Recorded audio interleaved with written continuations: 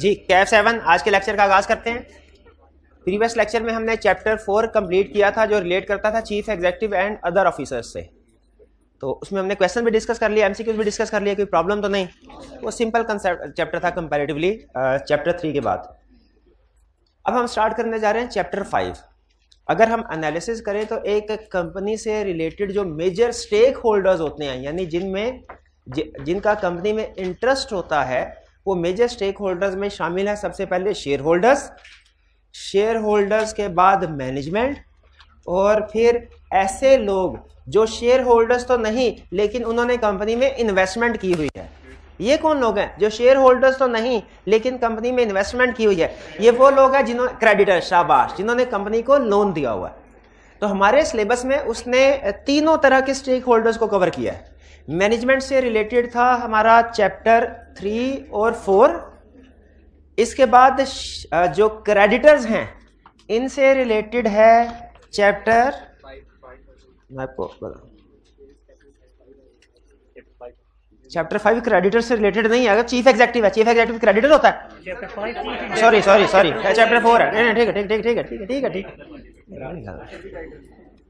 जो मैनेजमेंट से रिलेटेड है, वो है चैप्टर थ्री और फोर क्रेडिटर से रिलेटेड है चैप्टर सेवन और जो हमारा चैप्टर फाइव और नाइन है, ये रिलेट करता है शेयर होल्डर से। फाइव सिक्स और नाइन ये शेयर होल्डर से। तो बताने का मकसद ये है कि हमारे सिलेबस के अंदर उसने तीनों पार्टी से रिलेटेड लीगल रिक्वायरमेंट्स को कवर किया है। यानी शेयर होल्डर से रिलेटेड भी क्रेडिटर्स के हवाले से भी और मैनेजमेंट के हवाले से भी। मैनेजमेंट के हवाले से हम तकरीबन सारी डिस्कशन कर चुके हैं। सिवाय एक कंसेप्ट है डिस्क्लोजर ऑफ़ इंटरेस्ट का। वो हमने बाद में एक अलहदा से चैप्टर है, उसमें स्टडी करेंगे। डिस्क्लोजर ऑफ़ इंटरेस्ट का। वो मैनेजमेंट से रिलेट करता है। वरना मैनेजमेंट के हवाले से डिस्कशन हमारी कंप्लीट हो चुकी है। अब जो हम डिस्कशन स्टार्ट करने जा रहे हैं, वो है शेयर होल्डर्स के हवाले से कि शेयर होल्डर्स कौन है और इनसे रिलेटेड लॉ क्या कहता है। सबसे पहले तो ये जहन में रखिए कि शेयर होल्डर्स वो लोग हैं जिन्होंने कंपनी में इन्वेस्टमेंट की, जिन्होंने कंपनी को इनकॉर्पोरेट करवाया रजिस्टर करवाया और कंपनी को चलाने के लिए उसमें अपना पैसे डाले। वो हैं कंपनी के शेयर होल्डर्स असल में ये कंपनी के ओनर्स होते हैं। कंपनी के डायरेक्टर्स या चीफ एग्जीक्यूटिव कंपनी के ओनर नहीं है। कंपनी को चला तो रहे हैं, लेकिन वो चला रहे हैं शेयर होल्डर्स के बिहाफ पे। जो असल में ओनर है कंपनी के, वो कौन है? वो शेयर होल्डर्स है। ठीक है? तो शेयर होल्डर्स कहानी शुरू कहाँ से होती है? तरतीब से चल रहे हैं। सबसे पहले प्रोमोटर्स आपको याद होगा, हमने स्टार्ट में चैप्टर वन और टू में पढ़ा था। कुछ प्रोमोटर्स कंपनी सेटअप करने के बारे में सोचते हैं? फिर मेमोरेंडम और आर्टिकल्स प्रिपेयर करते हैं। रजिस्ट्रार के पास सब्सक्राइब करते हैं उसको। रजिस्ट्रार के पास जाते हैं। रजिस्ट्रार उनको रजिस्टर कर देता है। जब कंपनी बन जाए तो ये जो सब्सक्राइबर्स होते हैं, ये क्या कहलाते हैं? Members of the company members of the company और इसके बाद कंपनी रजिस्टर होने के बाद, ज़ाहिर कंपनी रजिस्टर तो होगी, इसका मतलब है लीगल उसकी एग्जिस्टेंस आ गई। लेकिन कंपनी को चलाने के लिए कुछ पैसे भी तो चाहिए। तो इसका मतलब ये हुआ कि कंपनी चलाने के लिए उसका रजिस्टर करवा देना काफ़ी नहीं है, बल्कि उसके लिए कुछ पैसों की भी ज़रूरत पड़ेगी। इससे पहले हमने चैप्टर जो वन टू था, उसमें रजिस्ट्रेशन की हद तक डिस्कशन की थी, अगर आपको याद हो। उसके आगे वो शेयर कैपिटल वगैरह कैसे रेज किया जाएगा शेयर होल्डर्स के बारे में हमने डिस्कशन नहीं की थी। ऐसे है ना? अब हम शेयर होल्डर्स के बारे में डिस्कशन करने जा रहे हैं। जहन में रखिएगा, इस चैप्टर के स्टार्ट पे हम किस पॉइंट पे हैं? हम इस पॉइंट पे है कि हमारी कंपनी इनकॉर्पोरेट हो चुकी है, लेकिन इसको चलाने के लिए पैसों की ज़रूरत है और वो पैसे अभी तक नहीं है तो अब ज़ाहिर है कॉमन सेंस की बात है, मैं आपसे पूछूँ, वो पैसे किसने इन्वेस्ट करने हैं कंपनी में? डेफिनेटली वो मेंबर्स ने, क्योंकि अभी चूँकि शेयर्स इशू नहीं हुए, हम उन्हें शेयर होल्डर नहीं कहेंगे। हम उन्हें कहेंगे मेंबर ठीक है? मेंबर्स तो मेंबर्स कैसे पैसे इन्वेस्ट करें, इसका बकायदा एक तरीका कार है। ऐसा नहीं है कि जैसे सोल प्रोवाइडर में होता है कि घर से लेके आया पैसे और बिज़नेस में उसने जाके रख दिए, उधर दराज में पैसे रख दिए, ये जी पैसा इन्वेस्ट हो गया।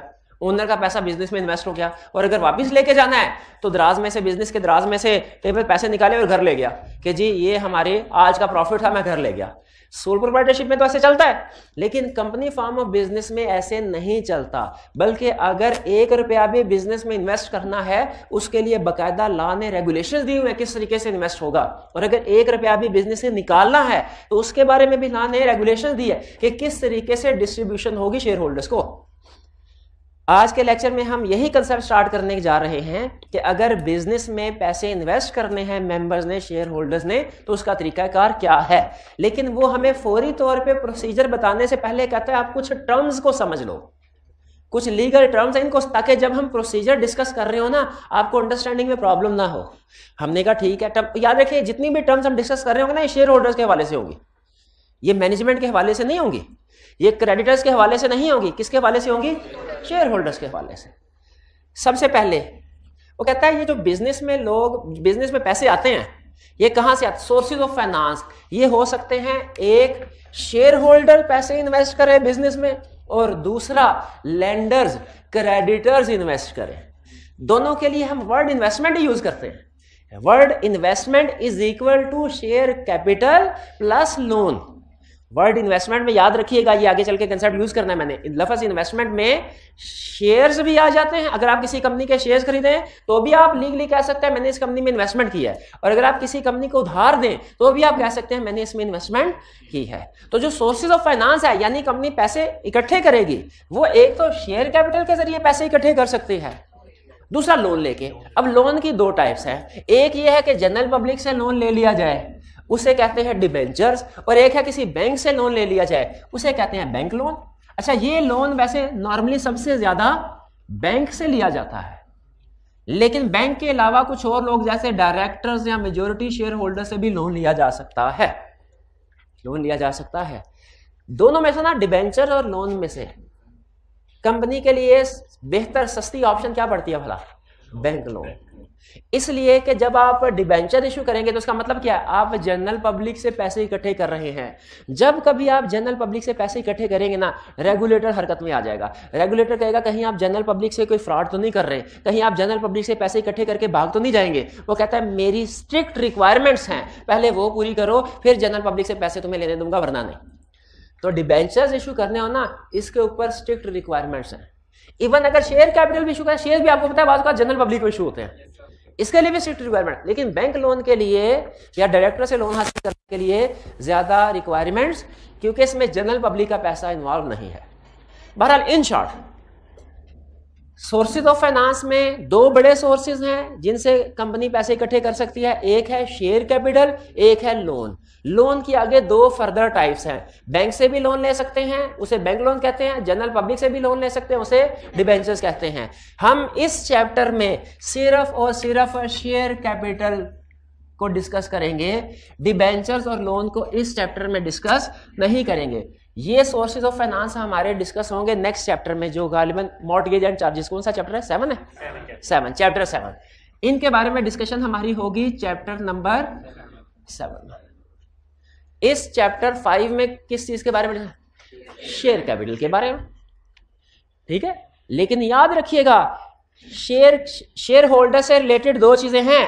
एक पैसे कंपनी को दिए, यानी शेयर कैपिटल दूसरा पैसे कंपनी से लिए, यानी डिविडेंड यानी डिविडेंड जो प्रॉफिट का हिस्सा है. ये चैप्टर सिर्फ़ शेयर कैपिटल को डिस्कस करेगा. यानी जब शेयर होल्डर कंपनी को पैसे दे रहा है, जब कंपनी से पैसे लेने की बारी आएगी, वो कंसेप्ट अलहदा है वो अलहदा चैप्टर है. वो है डिस्ट्रीब्यूशन ऑफ़ प्रॉफिट वो देखे कौन सा चैप्टर है? चैप्टर नाइन चैप्टर तो देखें चैप्टर कैसे एक दूसरे से इंटीग्रेटेड है. मिलते चलते हैं। अब हम आते हैं वापस इस चैप्टर की तरफ़।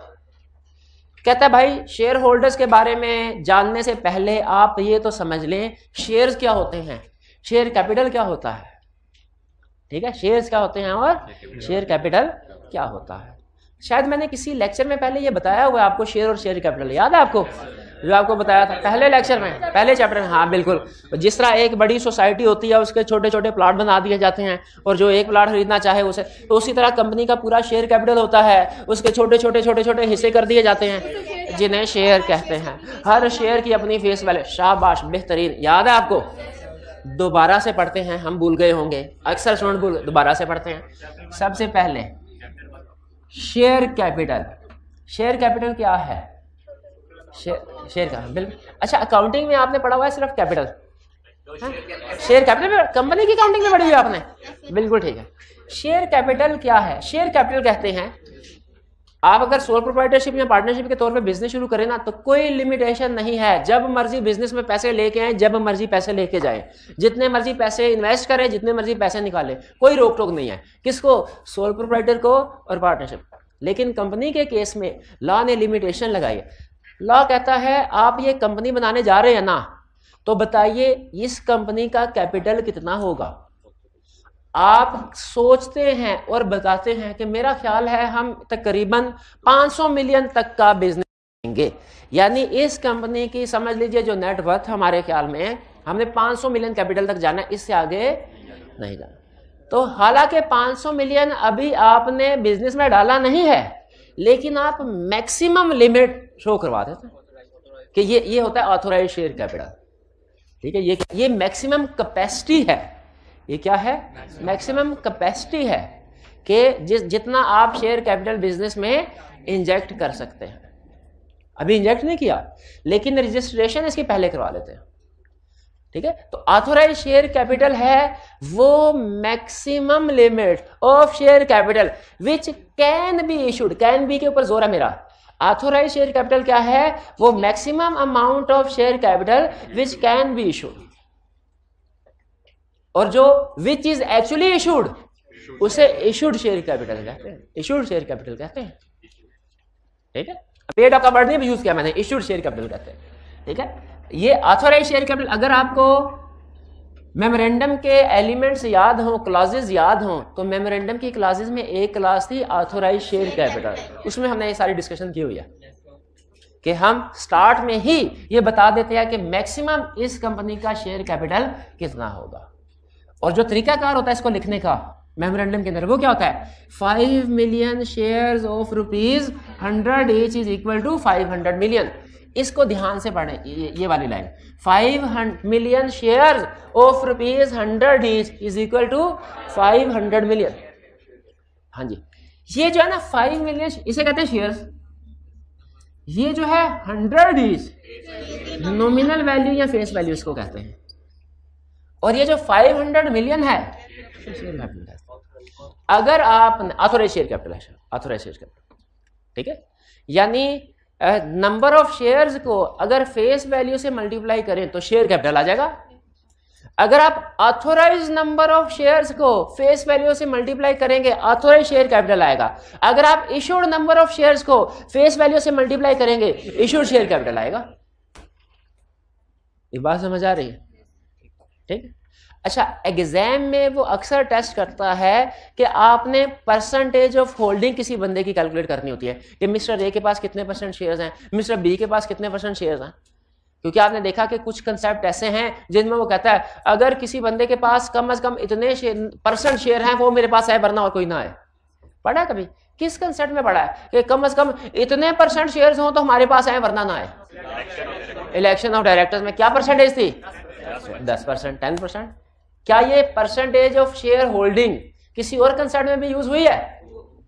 और किस concept percentage of share holding याद कीजिए, किसी और कंसेप्ट में यूज़ हुई है। एक तो ये हुई ना टेन परसेंट डायरेक्टर्स का इलेक्शन में करार देना हो। ठीक है? डायरेक्टर बनने के लिए परसेंटेज नहीं थी। वो सॉरी ये फ्रेश उसमें उसने परसेंटेज तरीकाकार तो बताया था। परसेंटेज का ज़िक्र नहीं किया था। मैं कह रहा हूँ, जहाँ पे परसेंटेज उसने खुद से बताई हो फिफ्टी परसेंट कहीं यूज़ हुई थी? Majority of shares majority of share का कंसेप्ट हमने पढ़ा होल्डिंग सब्सिडरी होल्डिंग सब्सिडी में पढ़ा था। पब्लिक सेक्टर कंपनी में भी पढ़ा था। इसका मतलब ये हुआ कि लॉ पढ़ते कंपनी लॉ पढ़ते हुए कुछ ऐसे मकाम आते हैं जिनमें हमें percentage of share holding calculate करना होती है। जिसमें हमें percentage of share holding calculate करना होती है। ये चीज़ मानते हैं? अब वो परसेंटेज ऑफ़ होल्डिंग कैसे कैलकुलेट करनी है? दो तरीके सुन लें दो सही तरीके हैं एक गलत तरीका है। एग्ज़ाम में आपको इन्फॉर्मेशन ऐसी देगा कि आप गलत तरीके की तरफ़ जा रहे होंगे। सही तरीका क्या है? ये सुन लें। किस चीज़ का सही तरीका बता रहा हूँ? Percentage of share holding calculate करना। पहला टोटल नंबर ऑफ़ शेयर्स को और जो किसी बंदे के पास है शेयर्स हैं, इनको डिवाइड कर ले। जो मेरे पास शेयर्स हैं, वो ऊपर टोटल नंबर ऑफ़ कंपनी के शेयर्स नीचे परसेंटेज कैलकुलेट हो जाएगी। ये भी परसेंटेज सही है। यह नंबर ऑफ़ शेयर की बेस पे। दूसरा तरीका क्या है? कि जो मेरे पास शेयर कैपिटल है, उसको कंपनी के टोटल शेयर कैपिटल से साथ डिवाइड कर दे। यानी जो मेरे पास शेयर कैपिटल है, वो ऊपर आ जाएगा, जो कंपनी का टोटल शेयर कैपिटल है, वो नीचे आ जाएगा। परसेंटेज कैलकुलेट होगी, ये भी ठीक तरीका है। जो तरीका ठीक नहीं है, वो क्या है? कि मेरे पास जो नंबर ऑफ़ शेयर हैं, उन्हें मैं कंपनी के शेयर कैपिटल से डिवाइड कर दूँ। या जो मेरे पास शेयर कैपिटल है उसे मैं कंपनी के नंबर ऑफ़ शेयर से डिवाइड कर दूँ। ये गलत तरीका है, क्योंकि परसेंटेज कैलकुलेट करने का तरीका है लाइक विद लाइक कैलकुलेशन करनी है। अगर कंपनी के नंबर ऑफ़ शेयर्स हैं तो हम भी नंबर ऑफ़ शेयर के साथ कैलकुलेशन करेंगे अपना। अगर कंपनी का शेयर कैपिटल है तो हम भी अपना शेयर कैपिटल के साथ कैलकुलेशन करेंगे। एग्ज़ाम में वो आपको कहेगा, आपके पास दस हज़ार शेयर हैं, और कंपनी का शेयर कैपिटल है दस लाख, और एक शेयर की कीमत है दस रुपए। बताइए कितने परसेंट शेयर होल्डिंग है? आप कहेंगे दस हज़ार number of share divided by दस लाख, एक परसेंट जो गलत है। हाँ एक लाख। या तो कंपनी का भी नंबर ऑफ़ शेयर में कन्वर्ट करके कैलकुलेशन करें, या अपना भी शेयर कैपिटल में कन्वर्ट करके कैलकुलेशन करें। ये बात पहले भी समझाई थी आपको क्लियर हुई है बात? तो ये जो लाइन है ना, इसको एग्ज़ाम में वो तकरीबन हर अटेम्प्ट में टेस्ट करता है। और स्टूडेंट गलती भी करते हैं, इसीलिए टेस्ट कर रहा है बार बार ऑथोराइज शेयर कैपिटल समझ आगे क्या है? वो मैक्सिमम अगर एक कंपनी का ऑथोराइज शेयर कैपिटल है पचास करोड़ तो किसका ये मतलब है कि इसके पास पचास करोड़ रुपया पड़ा हुआ बैंक अकाउंट में? इसका ये मतलब नहीं है। इसका ऑथोराइज का मतलब है ये रजिस्टर करवाई है। एक्चुअली इतने तक क्या कैपिटल इकट्ठा करने की इजाज़त है? अभी इकट्ठा किया नहीं जो इकट्ठा करते हैं हम, उसे क्या कहते हैं? Issued share capital authorise share capital है share capital which can be issued और इशूड शेयर कैपिटल क्या है? Which is issued which is issued authorise share capital में और इशूड शेयर कैपिटल में फ़र्क समझ आ रहा है? ठीक है? अब शेयर कैपिटल इशू करने का प्रोसेस क्या है? ये भी थोड़ी देर में डिस्कस करता हूँ मैं आपसे। लेकिन एक चीज़ ध्यान में रखिएगा कि जो शेयर कैपिटल इशू किया जाएगा ना, वो ऑथोराइज शेयर कैपिटल के बराबर या उससे कम होगा, उससे ज़्यादा कभी नहीं हो सकता। Issued share capital can never exceed authorized share capital. ये बात समझ आई? अच्छा ऑथोराइज शेयर कैपिटल तो समझ आ गया कि इसके साथ ऑथोराइज का लफज क्यों लिखा हुआ है? वो ये शेयर कैपिटल है जो रजिस्ट्रार के पास रजिस्टर करवाया हुआ है। रजिस्ट्रार ने हमें अथॉरिटी दी है कि इतना शेयर कैपिटल इशू कर सकते हैं। इशूड शेयर कैपिटल के साथ इशूड क्यों लिखा हुआ है? ये हमने इशूड कर दिया है। अब इशू करने का प्रोसेस क्या होता है? ये सुन लीजिए। ठीक है? समटाइम याद रखें, कुछ कंपनीज़ होती हैं जो इशू करती हैं प्राइवेट प्राइवेट इशू किसे कहते हैं भला? अगर प्राइवेट कंपनी है ना तो सब्सक्राइबर्स ही सारा शेयर कैपिटल खरीद लेंगे। लेकिन अगर पब्लिक कंपनी है तो फिर जनरल पब्लिक को शेयर इशू करना। याद है ना प्राइवेट कंपनी और डेफिनेशन में था? प्राइवेट कंपनी की डेफिनेशन याद है आपको? Company which by its articles limits the number of members to 50 restrict the right to transfer its share, prohibits invitation to general private लेकिन पब्लिक कंपनी पे restriction नहीं। तो अगर तो प्राइवेट कंपनी है तो सारे का सारा शेयर जो है शेयर सब्सक्राइबर ही उठा लेंगे। लेकिन अगर पब्लिक कंपनी है, और ख़ास तौर पे जो लिस्टेड है, या लिस्टेड होने जा रही है, वो जनरल पब्लिक को भी इशू कर सकती है। तो अब मैं आपके साथ प्रोसीजर शेयर कर रहा हूँ, जो कि एक कंपनी फॉलो करती है, कब? तब जब उसने जनरल पब्लिक को शेयर इशू करने होते हैं। स्टार्ट करें जी। Step number one commission SCC भी ये कहता है, किसी भी कंपनी को, कि आपने अगर जनरल पब्लिक को शेयर इशू करने हैं ना तो जनरल पब्लिक को कंप्लीट इंफॉर्मेशन होनी चाहिए। आप कौन हैं? क्या काम करते हैं? आप इनकॉर्पोरेट कब हुए? आपकी कंपनी के बड़े बड़े डायरेक्टर्स कौन है? ताकि लोगों को तसल्ली हो जाए कि वो अपनी सारी उम्र की जमा पूंजी जिन हाथों में देने जा रहे हैं, वो सेफ़ हैंड्स है। इस पर्पज के लिए एक डॉक्यूमेंट इशू किया जाता है, जिसे कहते हैं प्रोस्पेक्टस प्रोस्पेक्टस बनाती है कंपनी कौन सी कंपनी जिसने शेयर्स इशू करने हैं जनरल पब्लिक को। ये प्रोस्पेक्टस बहुत क्रिटिकल डॉक्यूमेंट होती है, इसी को पढ़ के सबने फैसले करने हैं कि इस कंपनी में इन्वेस्ट करें कि ना करें। इस प्रोस्पेक्टस में कंपनी के बारे में इंफॉर्मेशन भी होगी और एक एप्लीकेशन फॉर्म भी होगा कि मैं आपकी कंपनी के इतने शेयर खरीदना चाहता हूँ प्रोस्पेक्टस पढ़ लिया, अब मैं इतने शेयर खरीदना चाहता हूँ, ब्राय मेहरबानी मुझे शेयर इशू करें। कंपनी का प्रोस्पेक्टस कंसेप्चुअली एग्जैक्टली वैसा ही है जैसे किसी कॉलेज का प्रोस्पेक्टस आप कॉलेज में एडमिशन लेने के लिए जाते, आप अपने करियर की इन्वेस्टमेंट कर रहे हो। ठीक है? आप जाते हैं प्रोस्पेक्टस लेते हैं प्रोस्पेक्टस में कॉलेज के बारे में इंफॉर्मेशन है। उसके पास के बारे में, कब बना क्या क्या एक्टिविटीज़ हैं, क्या अचीवमेंट्स है? करंटली टीचर्स कौन है प्रिंसिपल कौन है बोर्ड ऑफ़ गवर्नेंस में कौन कौन लोग शामिल है, वगैरह वगैरह। ताकि आपको तसल्ली हो जाए कि आप जिस जगह पढ़ने के लिए जा रहे हैं, वहाँ पे लोग कॉम्पिटेंट टीम मौजूद है। और वहाँ पे जब मुझे ये बताइए क्लास है, उसमें उसमें एडमिशन के लिए प्रोस्पेक्टस इशू किया। हंड्रेड स्टूडेंट्स की क्लास है। हंड्रेड स्टूडेंट्स की क्लास है। क्या जो प्रॉस्पेक्टस इशू किया जाएगा, उसके साथ एडमिशन फॉर्म लगा होता है, जो फिल करना होता है। अब जब वो फिल जो पढ़ लेते हैं, और जो विलिंग हो एडमिशन के लिए, वो क्या करेंगे? वो एप्लीकेशन फिल करके कॉलेज में जमा करवा देंगे। अब इसमें तीन पॉसिबिलिटीज हैं। प्रैक्टिकली दो होती हैं वैसे थोरेटिकली तीन है। पहली पॉसिबिलिटी जो एप्लीकेशन आए, वो जो तादाद है, जैसे हंड्रेड उससे कम आए।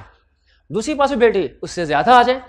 यानी एक पॉसिबिलिटी है सीट हंड्रेड है एप्लीकेशन अस्सी की आ जाए। दूसरी पॉसिबिलिटी है सीट हंड्रेड है एप्लीकेशन एक सौ बीस की आ जाए। तीसरी पॉसिबिलिटी सीट हंड्रेड एप्लीकेशन भी हंड्रेड आ जाए। ये बहुत कम चांस है लेकिन बार यहाँ पे क्या होता है भला फिर? कि जब लोग आ, सब जब एप्लीकेशन सबमिट करवा देते हैं उसके बाद कॉलेज क्या करता है? देखता है कितनी एप्लीकेशन आई। अगर तो एप्लीकेशन की तादाद इक्वल या कम हो वो एडमिशन दे देते हैं। लेकिन अगर एप्लीकेशन की तादाद ज़्यादा है सीट से, वो क्या करते हैं फिर? वो डिसीज़न करते हैं मेरिट लिस्ट लगती है। वो कोई भी क्राइटेरिया होता है उनका अपना।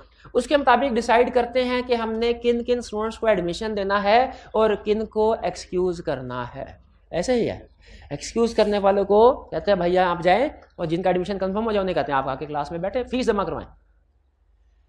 एग्जैक्टली exactly यही सिस्टम कंपनी के केस में होता है। फ़र्क सिर्फ़ यह है कि कॉलेज प्रॉस्पेक्टस के केस में आपको फ़ीस एडमिशन कन्फर्म होने के बाद जमा करवानी होती है। जबकि कंपनी के केस में आपको शेयर्स के पैसे एप्लीकेशन के साथ जमा करवाने होते हैं। अगर तो एप्लीकेशन सक्सेसफुल हो जाए, आपको बदले में शेयर्स इशू हो जाते हैं कंपनी के। अगर एप्लीकेशन सक्सेसफुल ना हो, आपको बाद में पैसे वापस मिल जाते हैं। ये इसलिए कहा गया है ताकि सीरियस इन्वेस्टर्स ही एप्लीकेशन फ़ाइल करें, जिनके पास पैसे हैं। ठीक है? तो कंपनी के केस में कंपनी ने क्या करना है? सबसे पहले स्टेप नंबर वन प्रोस्पेक्टस बनाना है। Step number two prospectus publish कर देना है। प्रोस्पेक्टस इशू कर देना है। वेबसाइट पे डाल दिया। और कुछ जगहों पे रख दिया।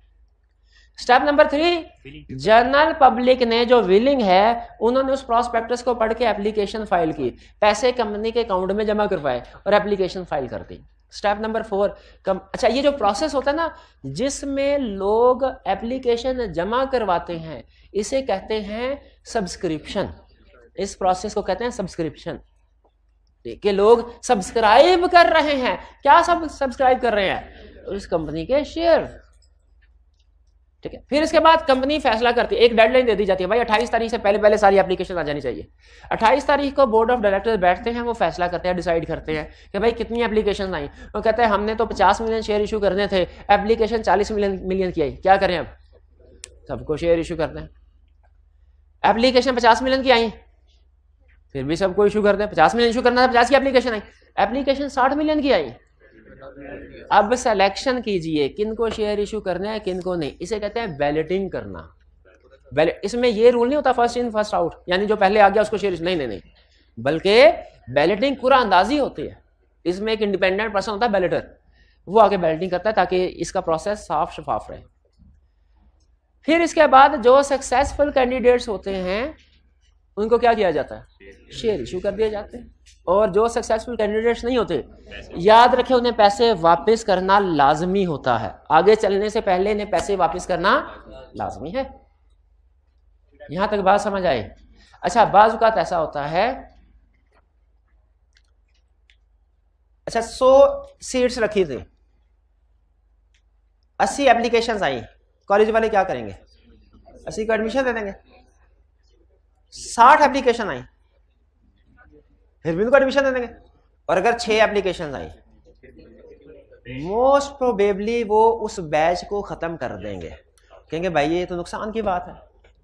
तो एक मिनिमम उन्होंने नंबर रखा होता है कॉलेज वालों, कि इतना नंबर ऑफ़ स्टूडेंट्स आए ना, फिर क्लास स्टार्ट करवाएँगे, वरना नहीं करवाएँगे। जैसे वो मीटिंग्स वाले के कंसर्न पड़ा था ना? मिनिमम नंबर कोरम कि जो लोग आएँगे, कम अज कम इतने लोग आएँगे तो हम बिज़नेस शुरू करेंगे, वरना नहीं शुरू करेंगे। एग्जैक्टली exactly उसी तरह का कंसर्न यहाँ पे भी अप्लाई होता है। ऐसे ही कंपनी ने भी डिसाइड किया होता है, जी हम शेयर इशू करना चाहते हैं। क्यों इशू करना चाहते हैं? क्योंकि बिज़नेस चलाना है। बिज़नेस कितने में चलाना है? पचास मिलियन में। अच्छा चालीस मिलियन अगर इकट्ठा हो गया बिज़नेस चला लोगे? चला तो लेंगे थोड़ा, लेकिन मुश्किल होगी, लेकिन चला लेंगे। अच्छा बीस मिलियन इकट्ठा हो जाए, फिर नहीं चला सकेंगे। कम अज कम कितने पैसे इकट्ठा होने ज़रूरी हैं? देखिए, चाहते तो हम ये है कि 50 मिलियन इकट्ठा हो। शेयर इशू करेंगे 50 मिलियन के। लेकिन 30 मिलियन वो अमाउंट है कि अगर इतने इकट्ठे हो जाए, कम अज कम, इतने इकट्ठा हम बिज़नेस शुरू कर सकते हैं। इससे कम इकट्ठे हुए तो बिज़नेस में शुरू नहीं कर। ये जो 30 की अमाउंट है ना, इसे हम कहते हैं मिनिमम सब्सक्रिप्शन क्या कहते हैं?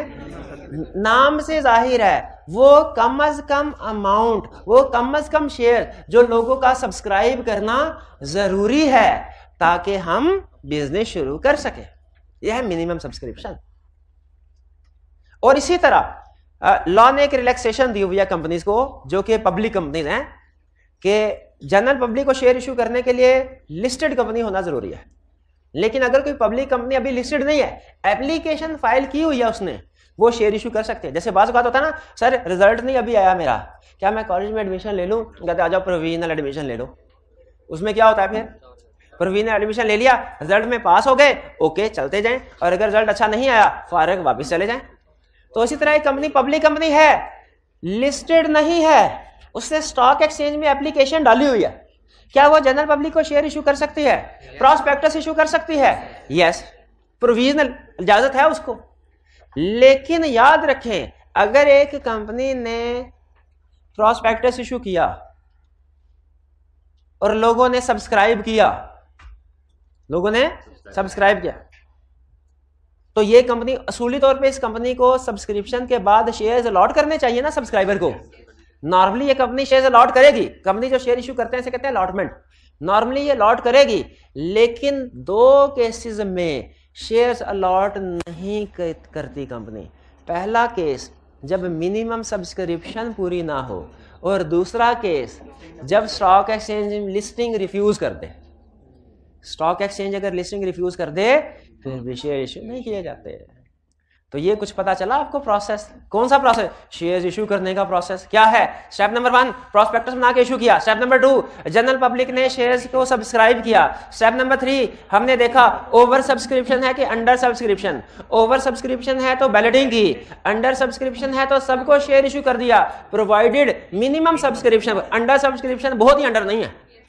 मिनिमम सब्सक्रिप्शन पूरी हो गई तो फिर चाहे कम भी हुई हो जितना शेयर इशू करना है शेयर इशू किया जा सकता है। लेकिन अगर मिनिमम सब्सक्रिप्शन से भी कम आए शेयर्स की एप्लीकेशन शेयर इशू नहीं होंगे। या दूसरा केस अगर स्टॉक एक्सचेंज लिस्टिंग ना करे शेयर्स की कंपनी की तो भी शेयर्स इशू नहीं होंगे। क्लियर हो गया आपको? चले, ये प्रोसेस हमने पढ़ लिया। अब अच्छा अच्छा सोचते हैं, शुभ शुभ सोचते हैं। क्या? कि कंपनी ने प्रोस्पेक्टस इशू किया स्टॉक एक्सचेंज से लिस्टिंग भी आ गई, और मिनिमम सब्सक्रिप्शन भी पूरी हो गई। अब क्या करना? है शेयर इशू करें। जितने आप शेयर इशू करेंगे, जैसे ये केस इस एग्ज़ाम्पल को लेके चलते हैं। आपने डिसाइड किया था वन मिलियन शेयर इशू करेंगे। तो ऑथोराइज शेयर कैपिटल कितना है? एक मिनट है। ऑथोराइज शेयर कैपिटल कितना है? Five million authorise share capital कितना है? Five hundred million authorise share capital बोला। ऑथराइज शेयर कैपिटल तो अगर एक मिलियन शेयर इशू किए गौर से सुनिए एक मिलियन शेयर इशू किए तो इशूड शेयर कैपिटल कितना हुआ? One hundred million one hundred में शेयर और शेयर कैपिटल में फ़र्क है। One hundred million share capital issued share capital है। ऑथोराइज और इशूड में फ़र्क समझ आया? और अगर two hundred sorry two million share issue करे तो? शेयर कैपिटल कितना होगा? Two hundred issue share capital कितना? टू हंड्रेड मिलियन अगर थ्री मिलियन शेयर इशू करें तो? इशू शेयर कैपिटल कितना है? थ्री हंड्रेड और अगर सिक्स मिलियन शेयर इशू करें तो? हो ही नहीं सकता। हो नहीं सकता। हाँ क्योंकि issued share capital authorise share capital के इक्वल या कम होगा एक्सीड नहीं हो सकता। एक्सीड करवाने प्रैक्टिकली हो सकता है, लेकिन उसके बाद रजिस्ट्रार के पास जाके, उन्हें कहेंगे मेमोरेंडम की अल्ट्रेशन कर दो। और उसमें कौन सी क्लास चेंज कराते हैं? ऑथोराइज शेयर करते हैं क्लियर हो गया? अच्छा अब रूल ये है कि जितना इश्यूड शेयर कैपिटल होता है वो और पेड अप शेयर कैपिटल वो दोनों बराबर है। वरना अब अब जो पेड अप शेयर कैपिटल का कंसेप्ट है, ये रेलिवेंट है। लेकिन पहले कंसेप्ट हुआ करता था पुराने जमाने में तीस, पैंतीस, चालीस साल पहले, के इश्यूड शेयर कैपिटल आपने one million share of rupees hundred use किया ना तो आपके पास ऑप्शन है। क्या? आप चाहे तो सौ का सौ सारा अभी ले लें चाहे शेयर होल्डर से चाहे इस सौ रुपए की इंस्टॉलमेंट्स कर लें। मतलब मतलब उसे कहे फुल्ली पेड अभी फुल्ली पेड का मतलब सौ के सौ अभी ले। अभी ना ले अभी साठ रुपए ले लें और बाद में चालीस ले लें। इसकी इजाज़त पहले होती थी अब नहीं है। इसको कहते थे पार्टली पेड शेयर यानी अगर आप सौ रुपए का शेयर अभी साठ रुपए में इशू करें और चालीस रुपए बाद में वसूल करने हैं इसको क्या कहते हैं? पार्टली पेड शेयर पहले इसकी इजाज़त होती थी, अब नहीं है। इसीलिए अब जितनी भी कंपनीज़ बन रही हैं कंपनीज़ एक्ट 2017 के अंडर, उन सब का इश्यूड शेयर कैपिटल और paid up share capital 100 percent same है। लेकिन हमें ये कंसेप्ट क्यों पढ़ा रहे हैं फिर पेड अप शेयर कैपिटल का? क्योंकि कुछ पुरानी कंपनीज़ हैं जो पार्टली पेड शेयर है और अभी भी फुल्ली पेड नहीं पार्टली पेड चल रहा है। पार्टली पेड क्योंकि अभी उन्हें पैसों की ज़रूरत नहीं पड़ी। पैसों की ज़रूरत पड़ेगी तो फिर ही पेड करवाएँगे ना। तो अब देखें तरतीब क्या बनी। ऑथोराइज शेयर कैपिटल वो जो रजिस्ट्रार के पास रजिस्टर करवाया मेमोरेंडम में। Issued share capital is a part of authorise share capital which has been issued to public या मेंबर और paid up share capital is a part of issued share capital which has been paid by share holders ध्यान में रखिएगा, अगर exam में question में silent रहे तो आप हमेशा क्या जम्पन लेंगे? फुल्ली पेड शेयर क्लियर अच्छा बताइए। पाँच मिलियन शेयर्स थे, एक मिलियन इशू किया। मजीद तीन मिलियन और इशू करना चाहते हैं। कर सकते हैं? कैसे? मेमोरेंडम में ऑल्ट्रेशन कैसे करवाएँगे? वन मिलियन शेयर इशू किए हैं। थ्री मिलियन शेयर मजीद करवाने हैं। तो हाँ कर सकते हैं ना? मेमोरेंडम अल्ट्रेशन की ज़रूरत नहीं है ना? क्योंकि वो लिमिट से नीचे नीचे। क्लियर ये डायरेक्टर्स अप्रूव करेंगे। डायरेक्टर्स की पावर में हमने कहीं पढ़ा? टू इशू शेयर्स पढ़ा? लिखा हुआ था। टू इशू शेयर्स लेकिन जो नहीं लिखा हुआ था, वो अब सुने। डायरेक्टर्स शेयर इशू कर तो सकते हैं। मेंबर्स की अप्रूवल की ज़रूरत नहीं है। लेकिन एक केस में अगर डायरेक्टर शेयर इशू करना चाहें तो उन्हें मेंबर्स की अप्रूवल की भी ज़रूरत पड़ेगी। शाबाश। अगर इशू करके ऑथोराइज शेयर कैपिटल से भी ज़्यादा इशू करना हो। यानी अगर authorise share capital five million shares है। ऑथोराइज्ड फाइव मिलियन शेयर्स है। Authorise share capital authorise share authorise share capital five hundred million का लें। ऑथोराइज शेयर कैपिटल 500 मिलियन है। Currently issued share capital 400 million है। कंपनी 100 मिलियन मजीद share issue करना चाहती है। क्या डायरेक्टर कर सकते हैं? मेंबरशिप अप्रूवल की ज़रूरत है। और अगर दो 200 मिलियन शेयर कैपिटल इशू करना चाहते फिर अप्रूवल की ज़रूरत है। क्यों भला अप्रूवल अच्छा अप्रूवल की ज़रूरत क्यों है भला मेमोरेंडम क्योंकि अल्ट्रेशन इन मेमोरेंडम का केस है और अल्ट्रेशन इन मेमोरेंडम के लिए स्पेशल रेजोल्यूशन की ज़रूरत पड़ती है। ये क्लियर हो गया? चलिए आगे चलते हैं। आप में से किसी के पास बाइक है? मोटरसाइकिल है भाई के पास? किसकी बाइक है? नहीं यूनाइटेड की नहीं नहीं ये क्या आपकी अपनी मिल्कियत है? ना कर सच में? क्या सबूत है? एक तो सबूत ये है ना बाइक इनके पास है, नीचे। और भी अच्छा कापी निकाल कापी। अभी देखते हैं। मुझे यकीन नहीं आता। वो भाई के पास सचमुच काफ़ी है? निकाल भी थे क्या है? वारंट गिरफ्तारी। ये क्या है? ना अच्छा ठीक। नहीं नहीं, ये बिल्कुल ठीक है। ये गाड़ी की डिस्क्रिप्शन नंबर लिखा हुआ है, इसके ऊपर भाई का नाम लिखा हुआ है, जिससे हमें साबित हो, भाई, साबित होता है कि नहीं? इस रजिस्ट्रेशन बुक को देख के कि मोटरसाइकिल इन्हें की है और कौन सी वाली मोटरसाइकिल है इनकी, उसका नंबर लिखा हुआ है। एग्जैक्टली exactly उसी तरह, जब आप किसी कंपनी के शेयर्स खरीदते हैं, आपको शेयर इशू किए जाते हैं। लेकिन अच्छा बाइक के ऊपर तो आपका नाम नहीं ना लिखा हुआ। बाइक के ऊपर नहीं लिखा हुआ। यहाँ पे, यहाँ से इससे पता चला है। उसी तरह शेयर जब इश्यू किए जाते हैं, याद रखे शेयर के ऊपर शेयर होल्डर का नाम नहीं है। शेयर के ऊपर नंबर होता है। जैसे बाई के ऊपर नंबर होता है, शेयर के ऊपर भी, जैसे करेंसी नोट के ऊपर भी नंबर होता है। लेकिन वो शेयर्स किसके हैं? इसके हैं इसके हैं इसके हैं, कैसे पता चलेगा? शेयर सर्टिफिकेट तो शेयर ओवरसीज है शेयर सर्टिफिकेट ओवरसीज शेयर है मोटरसाइकिल और शेयर सर्टिफिकेट क्या है? रजिस्ट्रेशन बुक रजिस्ट्रेशन बुक और शेयर सर्टिफिकेट कंपनी इशू करती है शेयर होल्डर्स को. शेयर सर्टिफिकेट इस बात का सबूत है कि ये भाईजान ओनर हैं इस शेयर्स के. कल कलां को शेयर्स गुम हो जाए, चोरी हो जाए तो ये शेयर सर्टिफिकेट दिखा के डुप्लीकेट शेयर्स निकलवा सकते हैं। या जब कभी झगड़ा हो जाए, ये कहीं मेरे शेयर है, ये कहीं मेरे शेयर है, हम कहेंगे शेयर सर्टिफिकेट दिखाओ। जिस शेयर सर्टिफिकेट में जिसके नाम पे होंगे, वही कानूनी मालिक माना जाएगा। तो शेयर्स में और शेयर सर्टिफिकेट में फ़र्क समझ आ गया? बिल्कुल। अच्छा बताइए, एक लाइन अक्सर बोली जाती है कॉरपोरेट वर्ल्ड में कि share is a type of property इसका क्या मतलब है?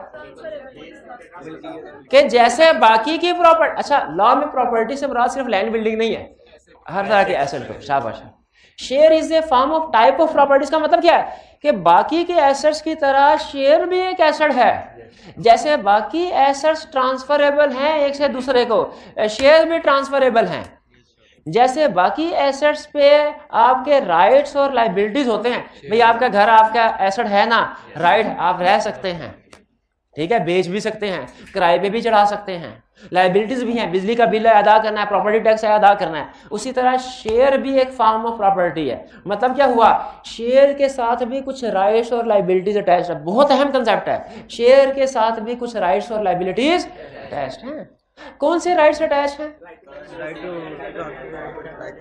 Right to sell right to receive dividend right to attend general meeting voting rights bonus rights entitlement of dividend ये सारे राइट्स हैं। इनके एग्री अच्छा लाइबिलिटीज भी हैं कोई? लाइबिलिटीज क्या है? Unpaid amount of share if any if any unpaid amount तो एग्री करते हैं ये, ये इस बात का मतलब समझ आया? Share is a form of property का मतलब क्या है?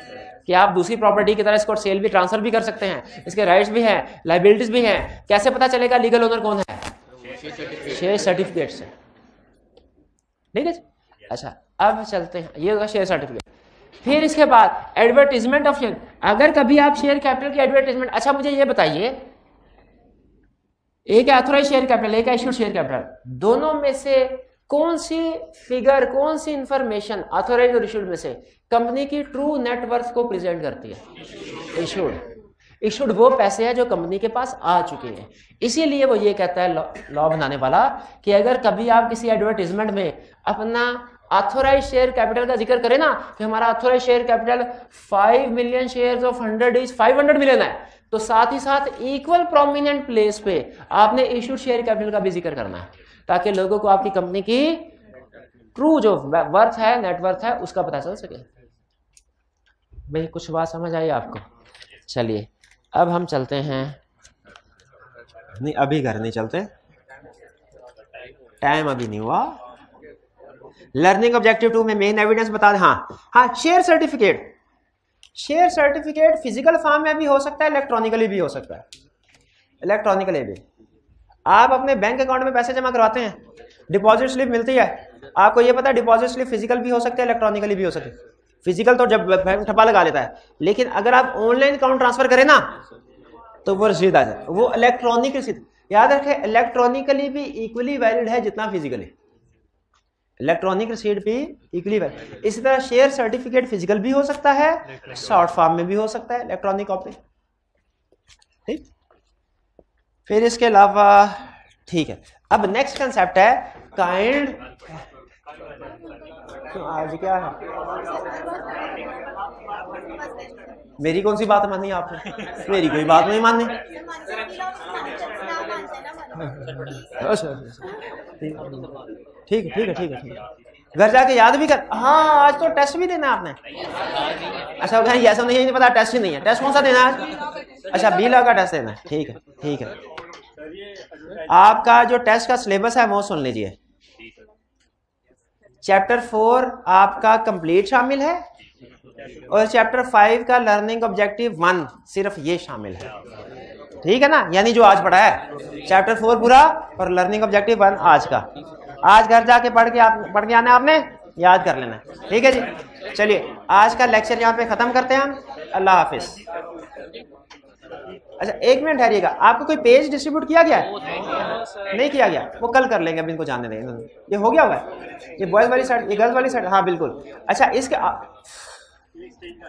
हमने अपना नंबर हमारा नंबर क्या है मेरा? आपको एक नंबर लिखवाया जा रहा है। आप अपने पास